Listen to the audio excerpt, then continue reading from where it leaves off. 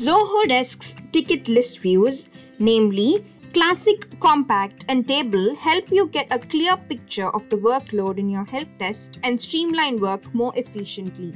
Each view comes with unique functionalities that present important information upfront, thereby helping you make better decisions. Ticket list views help you estimate workload and plan the course of action accordingly. In this video, we'll talk about list views and their types. The Tickets module in Zoho Desk is a repository of all your tickets. It displays tickets in list view which is of three types, namely Classic, Compact and Table. These list views can be customized to display tickets in predefined and custom views. Now that you know what list views are, let's learn more about their types.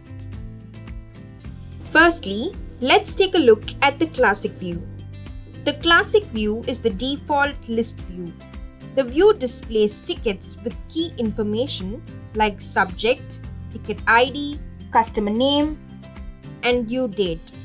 Tickets can be opened fully or viewed using the peek button which overlays ticket details over the list view. You can edit, delete, update status, and view the thread count from the list view page without opening the ticket details view. Add comments by clicking on the comments icon. Click on the agent icon to assign tickets to individual agents or teams. The Mass Actions menu allows you to make ticket updates to many tickets at the same time. It lets you assign, update, merge, close, delete, mark as spam a bunch of tickets, and apply macros to multiple tickets within a queue. Tickets on the view can be filtered based on agent, status, due date, priority, channel, and received in days to focus on precisely the data that you want to see. The view automatically sorts tickets based on the reason thread. You can choose a different sort order like ticket ID, due date, and created time. You can view the total number of tickets. To load more tickets, simply scroll down. The upward and downward arrows in the lower right of the screen will help you navigate to the first and last records in the view. To switch to another list view, click on the View drop-down menu on the upper right side of the screen.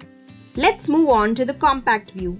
The Compact view offers all the functionality of the Classic view, except it shows you nearly twice as many tickets per screen. This makes it easier to quickly scan your ticket list before clicking on the one you need. Finally, let's take a look at the table view. The table view displays tickets in rows and columns as in a spreadsheet. Each row displays a ticket and each column shows a ticket property. Table view facilitates column level sorting. Click on a column header to sort tickets according to it. You can customize the table view by adding and removing columns or by changing their order and position.